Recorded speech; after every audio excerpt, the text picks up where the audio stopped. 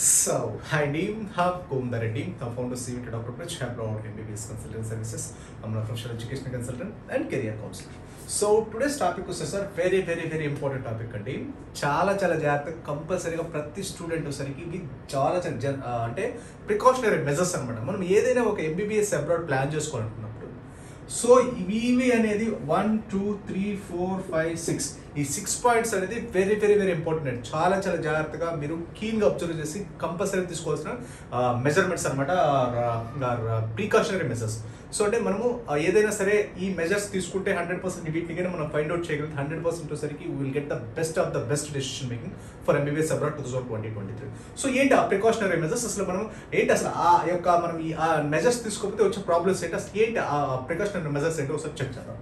So ఓకేనా ఇంకో విషయం అండి మీరు ఎవరైనా సరే ఎంబీబీఎస్ అబ్రాడ్ రిలేటెడ్ మీకు ఎలాంటి డౌట్స్ ఉన్నా అది ఎన్ఎంసీ రూల్స్ అవ్వచ్చు నెక్స్ట్ ఎగ్జామినేషన్ రూల్స్ అవ్వచ్చు లేకపోతే మెడికల్ పీజీ ఎగ్జామ్ అవ్వచ్చు యూఎస్ఎంఎల్ఏ అవ్వచ్చు నెక్స్ట్ వన్ నెక్స్ట్ లేదంటే MBBS abroad different different countries information అవ్వచ్చు whatever the information whatever the doubts you can just go through the doctor bridge abroad MBBS YouTube channel ఇక్కడ get full knowledge about all the countries information or else నీకు ఏదైనా ఇంకా doubts అవ్వకపోయినా లేదంటే ఏదైనా fee structures doubts ఉన్నా లేదా ఇంకా వాట్ ఎవర్ మీకు ఏదైనా డౌట్స్ ఉన్నా you can just contact below WhatsApp whatever the doubt చిన్నది అవ్వచ్చు పెద్దది ఏ డౌట్స్ అనేది you can just contact directly on WhatsApp you can just normal calls okay right నా ఐఎమ్ ఇండియా కాబట్టి మీరు ఏదైనా నార్మల్ కాల్ చేయొచ్చు లేదా వాట్సాప్ చేయొచ్చు వాట్ ఎవర్ ద డౌట్ మీకు ఏ డౌట్ ఉన్నా సరే you can just contact directly okay so okay అసలు ఈ ఎంబీబీఎస్ అబ్రాడ్ డెసిషన్ మేకింగ్ తీసుకున్న కిర్గిస్తాన్ అవ్వచ్చు కజకిస్తాన్ అవ్వచ్చు జార్జ్ అవ్వచ్చు వియత్నాం అవ్వచ్చు రష్యా అవ్వచ్చు ఏ కంట్రీ అయినా సరే కంపల్సరీగా ఈ precautionary measures hundred percent follow అవ్వాలి. అదర్వైజ్ హండ్రెడ్ పర్సెంట్ వచ్చేసరికి టూ హండ్రెడ్ పర్సెంట్ ఖచ్చితంగా రాంగ్ డెసిషన్ తీసుకుంటారు. ఏంటవి ఓకేనా వాటి ఇంపార్టెన్స్ ఏంటంటే ఇప్పుడు ఎక్స్ప్లెయిన్ చేస్తాం. సో ఫస్ట్ పాయింట్ వస్తుంది సార్ సో కంపల్సరీగా వస్తుంది సార్ మీరు మోస్ట్ అండ్ నేను చాలా సార్లు మన doctor P job MBBS YouTube channel చాలా సార్లు చెప్పాను.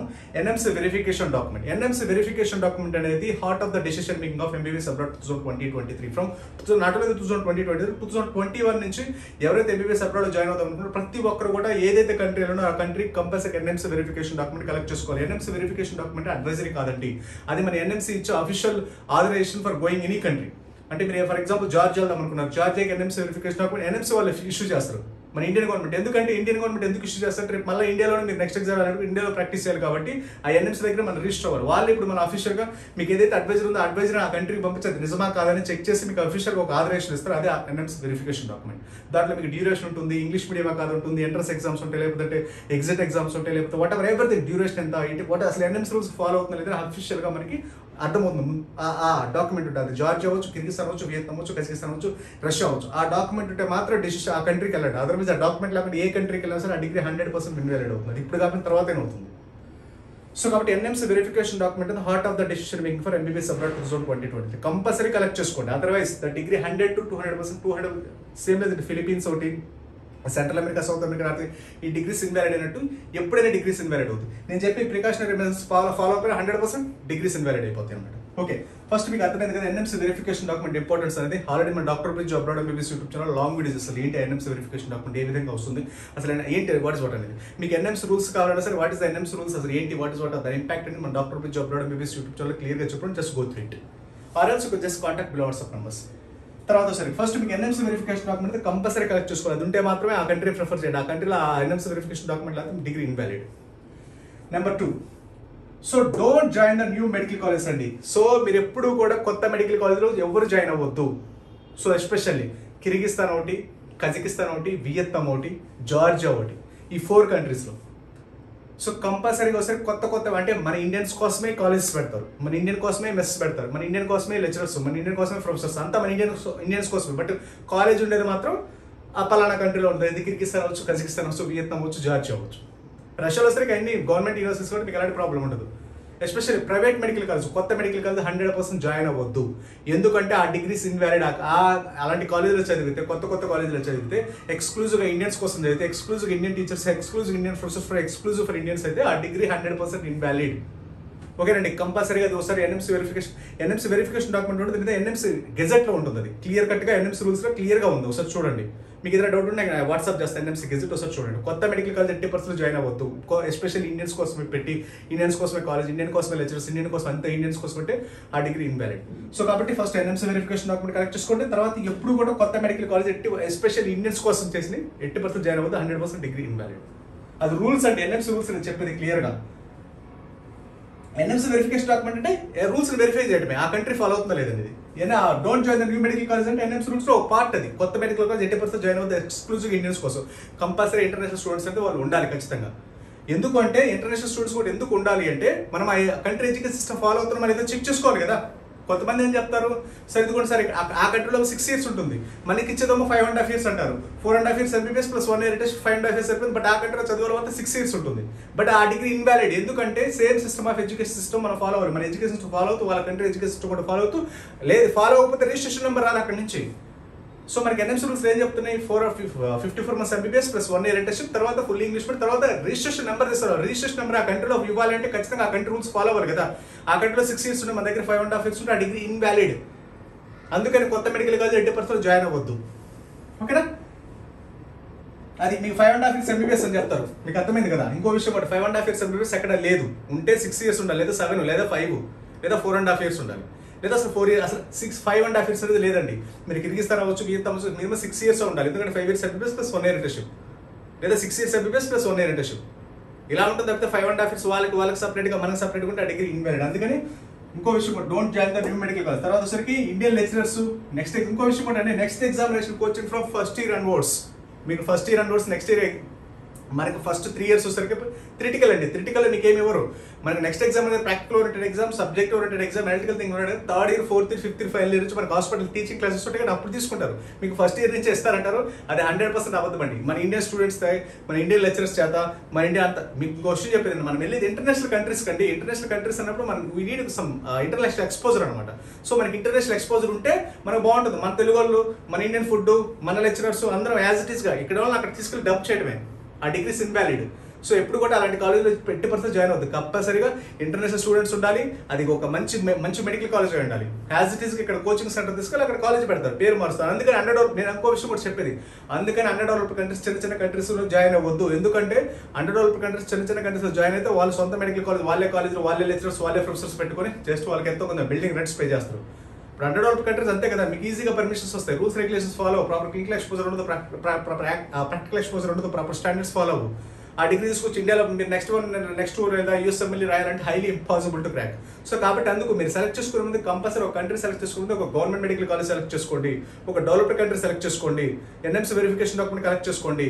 ఎక్స్పీరియన్స్ ఆఫ్ ద ఎక్స్పీరియన్స్ ఉన్న మెడికల్ కాలేజ్ సెలెక్ట్ చేసుకోండి. మంచి ఓల్డ్ ర్యాంక్ ఉన్న మెడికల్ కాలేజ్ సెలెక్ట్ చేసుకోండి. The best medical college select చేసుకోండి.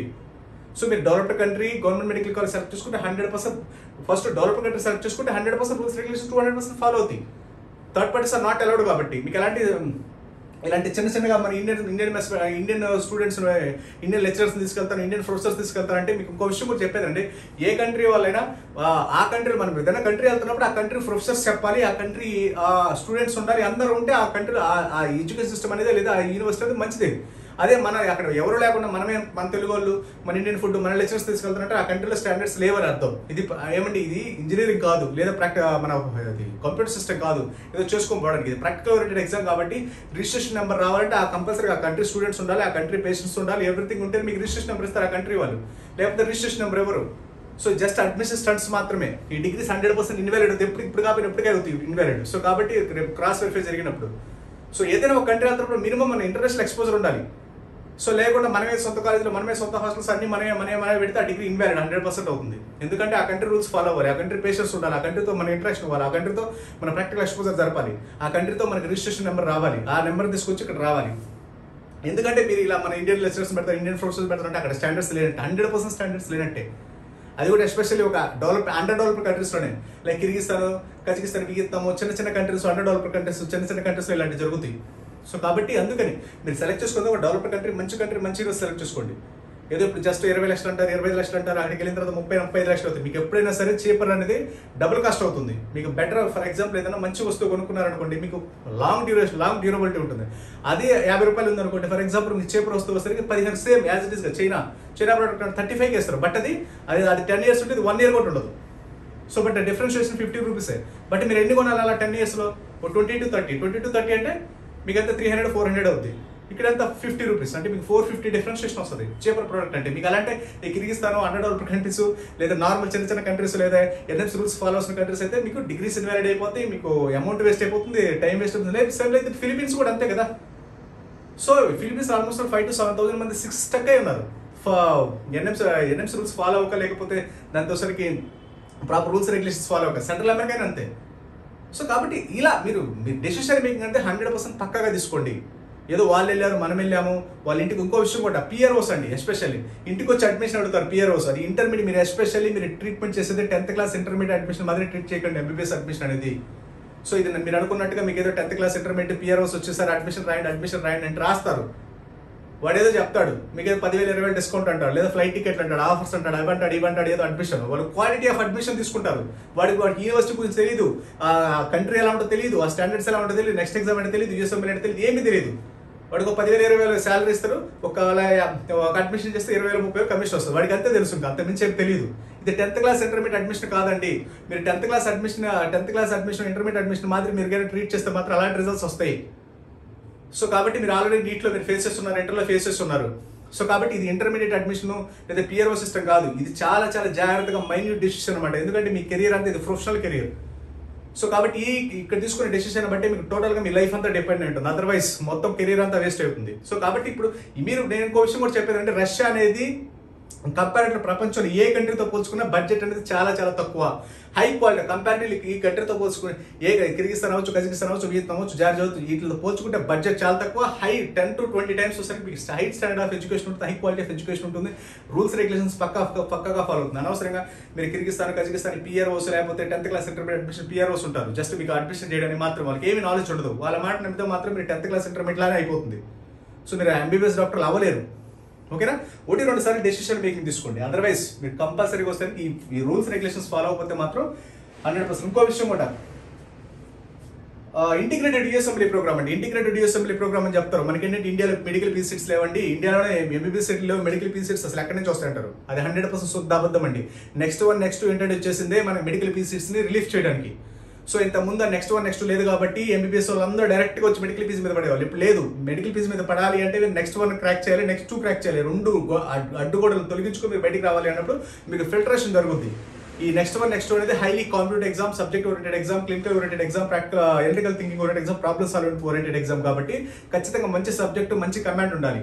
ఏదో నార్మల్గా వెళ్ళాము టెన్త్ క్లాస్ ఇంటర్మీడియట్ అది బట్టి కొట్టి చదవలేదు ఏదో నార్మల్గా ఏదో అలా చదివచ్చామంటే కుదరదు. ఖచ్చితంగా మంచి స్టాండర్డ్స్ అనేది ఉండాలి. ఆ స్టాండర్డ్స్ ఉండాలంటే కిరిగిస్తాన్ కజికిస్తాన్ మన కాలేజీలో మన లెక్చరర్స్ మన ఇండియన్ ఫుడ్ ఇవన్నీ చిన్న చిన్న కంట్రీస్ చదివితే అది highly impossible to crack that okay మంచి యూనివర్సిటీ మంచి కంట్రీ సెలెక్ట్ చేసుకుంటేనే మనం రేపు సక్సెస్ అవడానికి ఎక్కువ ఛాన్స్ ఉంటుంది. ఏదో వాళ్ళు చెప్పారు ఇంటర్మీడియట్ పిఆర్ఓస్ చెప్పారు ఇంటికి వచ్చారు అడ్మిషన్ రాశారు అడ్మిషన్ ఎవరైనా రాస్తారు. మీరు రాశారంటే పదివేల పదిహేను సరే ఓకే అడ్మిషన్ రాయడం అనేది మ్యాటర్ కాదు.